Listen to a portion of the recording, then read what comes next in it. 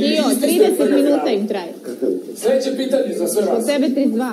Da nije sa vama, vaš partner bi se muvao u zadruzi sa kim? To jest sa kim? Piše.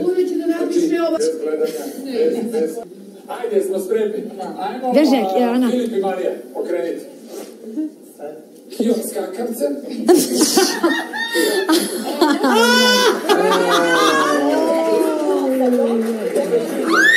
Filipe, isko si glup. Nije glup, samo otkrio. Iskren dečko. Ne, sa kim bi se mu vaš partner, ovo mi je trebalo da napiše s kim bi se Marijana. Ne, ne, ne, sa muškarcem. Anci, ne brini se jebo, bite, koji ti kurac. Ana jebali se Ana, ti ja se ne držimo očigledno, ovo ne može više. Znaš što ću. Najgore smo. Ma molim. Sve dece, obe. Već je kiraj se.